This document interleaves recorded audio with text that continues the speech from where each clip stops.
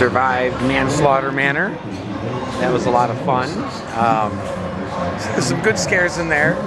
Uh, some Sadies were rocking out, freaking people out, literally rocking out. One of them was in a rocking chair, banging against the wall.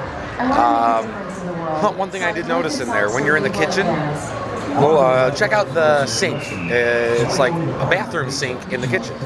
So that was kind of interesting. And uh, in the bathroom, they taped the toilet shut. So I don't know, maybe somebody actually used it, but that was a good, uh, good haunt. Really enjoyed that one.